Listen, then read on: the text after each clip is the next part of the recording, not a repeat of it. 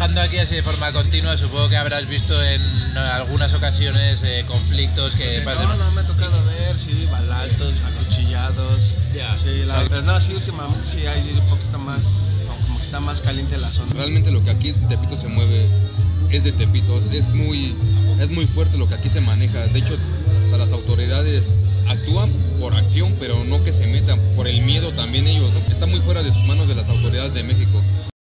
Bueno gente, tengo una notición para el día de hoy y es que de nuevo con All Humans comenzamos el viaje en México, comenzamos las aventuras mexicanas continuando con nuestra gran gira y lo vamos a hacer a lo grande, nos encontramos ya en la capital, en Ciudad de México y lo que vamos a hacer hoy va a ser entrar en el mercado del Tepito. El mercado al que vamos está dentro del barrio del Tepito, que es uno de los barrios más peligrosos de la ciudad. Por eso nosotros, además siendo extranjeros, en ningún caso podríamos entrar ahí solos y por eso vamos a contar con la ayuda de nuestro amigo Alberto ¿Qué tal?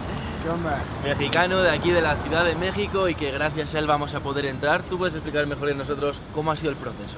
Sí, gracias a mí y a uno de mis amigos que vive ahí en Tepito es como vamos a poder grabar y vamos a poder entrar bien y van a poder, van a poder conocer bien cómo es en realidad la vida dentro de Tepito. Sí, porque además nos comentabas que el problema es que aunque ahora ya hay un poco más de seguridad, allí siempre se las apañan para meterte a alguna trastienda, callejón, lo que sea, donde como mínimo te van a robar todo lo que Sí, exactamente. Sí, aunque es un barrio en donde vamos a encontrar también artesanías o incluso comida o música en algunos de los días de la semana, también hay drogas, armas, artículos ilegales y prostitución, ¿verdad? Sí, es uno de los lugares más típicos de la Ciudad de México.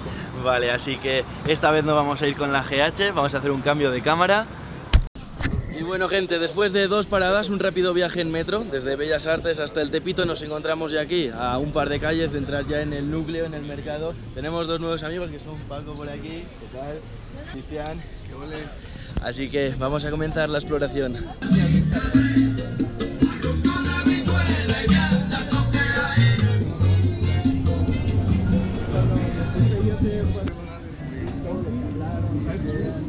También, por supuesto, aunque contábamos que había armas, droga, por supuesto no va a estar aquí en estos puestos, o sea, va a estar como más escondido, ¿no? Sí, claro, es algo que no vamos a ver este, ahorita y bueno, estamos entrando apenas. Aquí estamos en el barrio de Tepito, este es el eje 1 norte que empieza desde Reforma hasta Avenida del Trabajo, la avenida principal que divide todo lo que es centro histórico de la Ciudad de México, todo lo que es Tepito. Tepito está dividido entre calles, hermano, hay un montón, un montón de calles. Son muchísimas calles, callejones y cerradas. Además nosotros en este caso yendo contigo tenemos la suerte de que tienes el amigo también que tiene un puesto en el centro del Tepito, ¿verdad? Sí, por supuesto, vamos, a ir a, se puede decir que vamos a ir a, la central de Tepito, las calles centrales de Tepito con un amigo que Tepito. auténtico Tepito, con un amigo que nos va a brindar el apoyo. Esto lo estamos haciendo acompañados de esta forma porque, bueno, está claro el porqué, nos habían advertido que como entráramos solos lo más seguro es que nos iban a calar, nos iban a perseguir y mínimo eso, nos iban a robar. Y esto que estamos haciendo de trabajar, de grabar con locales, lo vamos a hacer en toda la gira latinoamericana. Todos los vídeos en México los vamos a grabar con mexicanos y esto lo hacemos a través de Instagram, así que si queréis participar y demás, ya sabéis, seguidnos por aquí abajo.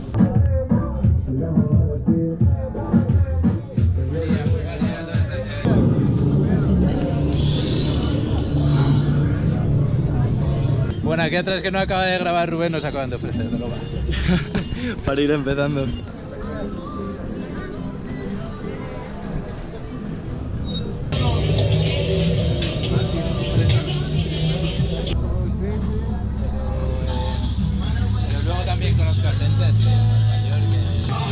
Aquí lo típico de Tepito es el albur. La verdad, aquí por lo regular te hablan ni siquiera te das cuenta cuando te están albureando y ya te metieron como tal la verga hasta dentro. Sí, son como juegos de palabras con los que te vacilan y se ríen de ti sin que tú sepas simplemente de por qué se ríen. Exactamente, todos están cagando de risa y ya cuando te das cuenta dices, ¿qué pedo? No, pues ya me alburearon, ¿no? Pero no es más que un juego, ¿no? O sea, realmente no va más allá. No, no va más allá. Bueno, ya yendo en una de estas calles nos han rodeado unos chavales que, bueno, este era como el punto más típico de venta de droga, ¿no? Ahí es donde se y aunque fuera por la mañana me comentabais que realmente ellos podrían estar colocados, pues se alteran muy rápido y lo que hay que hacer es pasar y seguir nada, guardar cámara y sacarla dentro de un rato. Bueno, mira, este escarchado viene con un dulce típico mexicano que se llama Miguelito, dulce y tamarindo. ¿Qué tal?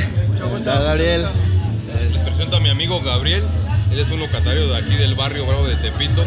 trabaja en este negocio, Ruta Ruta 66. 66, aquí en Jesús Carranza, calle Jesús Carranza y Matamoros. Pues el barrio, la mayoría es gente decente que trabajamos. Vénganse por unas chelitas, aquí los esperamos. Y mi hermano, ¿cuánto llevas viviendo, bro? No, pues desde que nací yo aquí, 35 años ya. Gente de trabajo, ¿no? Todas.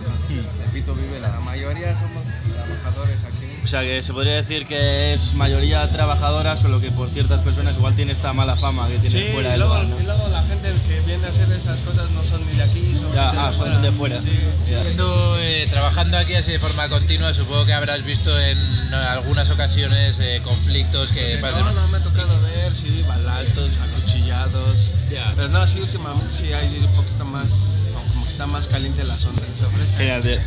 Muchas gracias. Aquí estamos.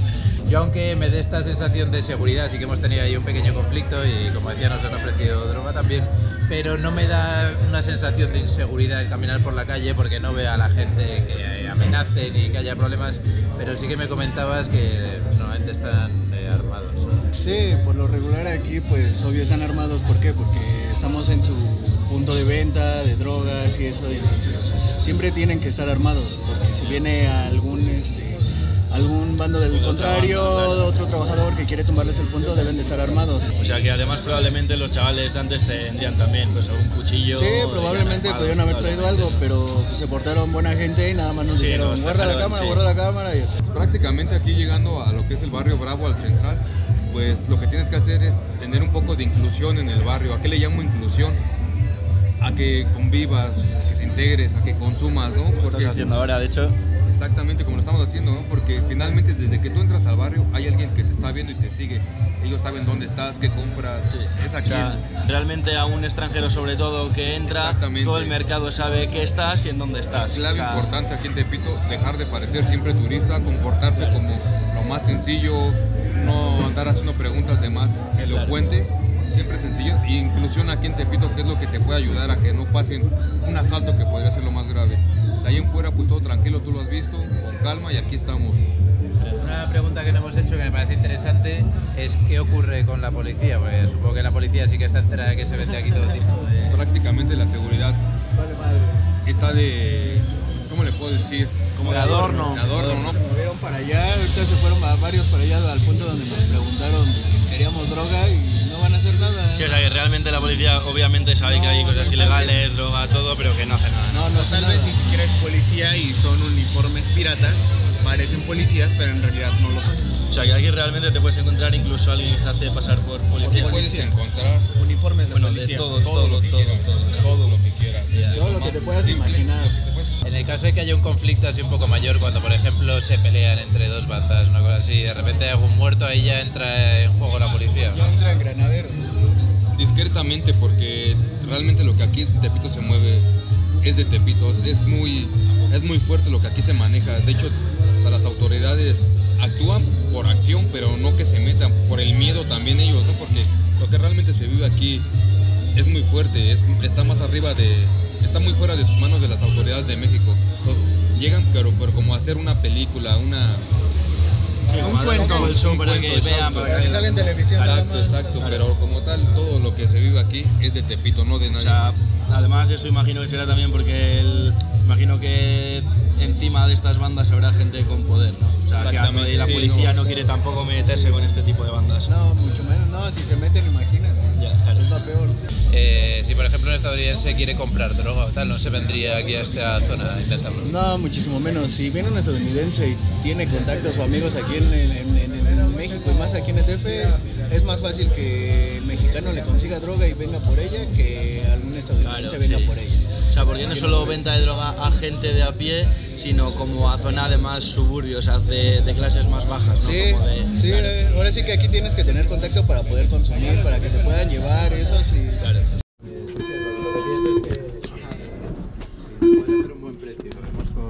Y bueno, nos encontramos ya fuera del mercado del Tepito, hemos dejado de grabar porque, bueno, nos habéis avisado, ¿no? Que al final todo el mercado sabía que estábamos ahí y que había que cortar ya, que no sacáramos más cámaras. Sí, Además hemos salido por otro camino para no volver por la zona donde habíamos tenido ese conflicto que era como el punto rojo, el punto negro en, ese, en esa zona del mercado.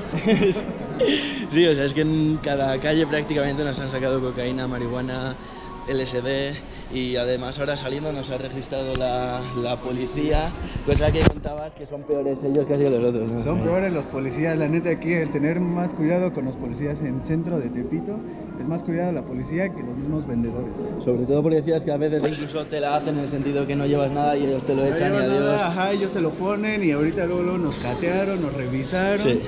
Y luego, luego, ¿qué traes? ¿Qué traes? No, pues nada, pero aún así se ponen muy altaneros. Sí, incluso que la gente que de verdad vende ellos, sabes que venden, o sea, ellos saben quiénes son, no van donde ellos, porque pasan de ese tema. tío. Sí, no, les da, les da miedo a los policías entrar exactamente con ellos porque saben con quién se Sí. meten, ¿no? Las tiendas que hemos visto después de haber sacado la cámara eran, pues en algunas había sex shops, eh, que se vendía todo en la calle. Esta vez ya sé que casi todo el vídeo ha sido mi cara y algunas entrevistas, pocas imágenes del mercado, pero ¿qué queréis? Siendo extranjeros nos hemos metido desde el núcleo, hemos grabado incluso cosillas y hemos salido con nuestras cosas además, así que hemos hecho lo que hemos podido, que no ha estado nada mal. Vale, ya fuera del Tepito continuamos por nuestra cuenta. Cuídense. Cuídense, chido. Ha sido un placer. Igualmente, cuídense mucho.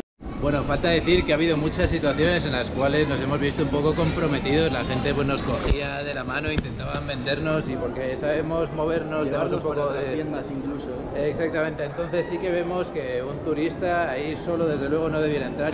Me gustaría recalcar que allí nos han hablado también de que hay gente buena, hay gente que allí trabaja para conseguir un salario a final de mes.